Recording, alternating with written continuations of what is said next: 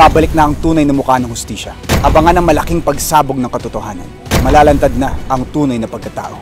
Big Pasabog. Katotohanan, walang atrasan. Abangan sa October 4.